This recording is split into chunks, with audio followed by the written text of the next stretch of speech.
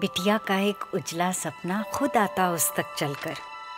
न जाने अंधेरे आकर ले जाते उन्हें कहाँ चुराकर। देख के जादुई जुगनू बिटिया बोली, काश मुझे तू जादू देता। खुद कर पाती खुद को रोशन।